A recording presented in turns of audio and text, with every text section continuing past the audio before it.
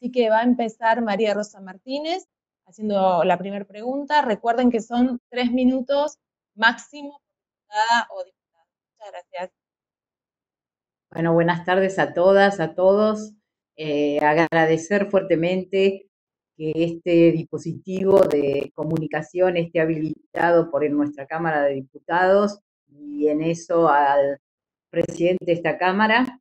También eh, agradecer a Mónica, presidenta de esta comisión que fue votada durante las extraordinarias y presentada por la exdiputada Mayra Mendoza, actual intendenta de Quilmes, de las cuales nos sentimos muy orgullosas. Y a Eli, por supuesto, eh, eh, estamos muy contentas de este ministerio, o sea que hay varios dispositivos nuevos que estamos estrenando en esta videoconferencia, eh, por la cual ya han pasado más de 13 ministros y funcionarios nacionales y por supuesto como a las mujeres nos cuesta todo el doble, la nuestra fue en dos etapas. Em, primero quería decirte, eh, Eli, que nos interesa mucho de esta Cámara ponernos a disposición y la pregunta es saber qué resoluciones, propuestas, proyectos te parece que son prioritarios en el marco de la emergencia, porque estamos trabajando fuertemente en ello.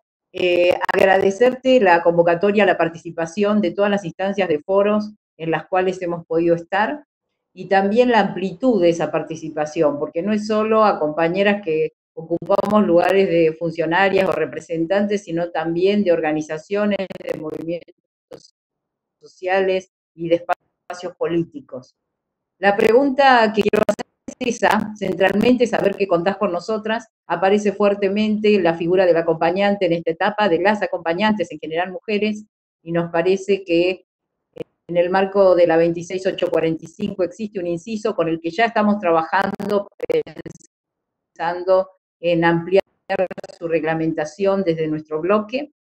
Eh, la pregunta de eh, de qué manera podríamos visibilizar esto que vos planteabas de trabajo múltiple de las mujeres, que sin duda tiene que ver con las superposiciones y más tareas que desarrollamos no solo a nivel familiar, sino también a nivel laboral, y cómo esto se pone en juego para adelante en un plan de reconocimiento.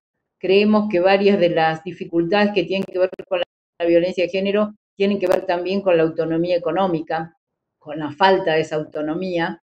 Y por último, preguntarte eh, cómo estás evaluando el trabajo y el compromiso desarrollado en esta etapa que vos ya comentaste, vinculado al colectivo de la comunidad LGTBQ más trans, eh, porque nos parece que es importante tener un primer pantallazo, creemos que es un abordaje muy necesario y nosotras estamos trabajando, Mónica es una de las autoras, en el proyecto de la eh, el cupo laboral trans a nivel nacional, que sí logramos en algunas provincias, como la provincia de Buenos Aires en su momento. Muchísimas gracias, un cariño grande a todas, a todos. Gracias. Muchas gracias, María Rosa.